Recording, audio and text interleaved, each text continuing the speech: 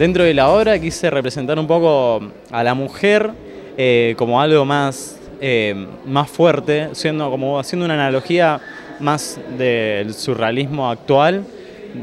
de lo que vendría siendo el, el corredor del laberinto que derrota al Minotauro, pero ya combinándolo con lo que vendría siendo una estética más de una ya femenina, combinándolo con la moda, con la moda actual y dándole un poco esa impronta de poner a la mujer, a la mujer joven, a veces que se la ve delicada y todo eso, como en un lugar como alguien más fuerte, más, más imponente como como es el corredor del laberinto. Estuvieron los días muy feos y lo hice muy rápido, esos días estuvo lloviendo, pero había gente que me visitaba y estuve compartiendo pared con otras personas que era muy, muy entretenido estar ahí, la verdad. Y aparte la gente del barrio que se acerca a ver, los niños a lo que era una plazoleta, se acercaron muchos niños y se, tira, y se le enseñó un poquito de pintar a los niños de otras paredes que habían, que es lo, es lo divertido de pintar en la calle, es, es la verdadera aventura, no solo de dejar una obra, sino de pasar el momento en el que a veces en lugares céntricos se tiene más, más, se tienen más preguntas y todo ese tipo de cosas, pero cuando dentro de un barrio